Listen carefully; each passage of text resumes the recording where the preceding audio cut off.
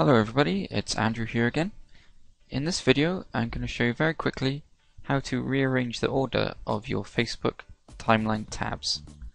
As you can see there are four tabs in the main view and if you click then you'll see all the others that you've added but for whatever reason uh, depending on what order you added the tabs you might want uh, more important ones to appear near the start and the lesser important ones to appear below the fold so to speak.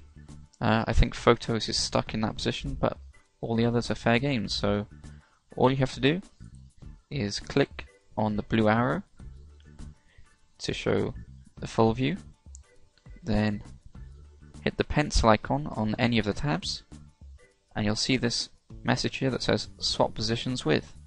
So I can swap position with likes, follow on Twitter, video tutorial, so I'll swap with likes just to show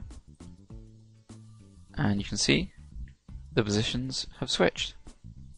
I want to advertise my book kind of near the start so I'll just swap them back background. And there you go. That's it.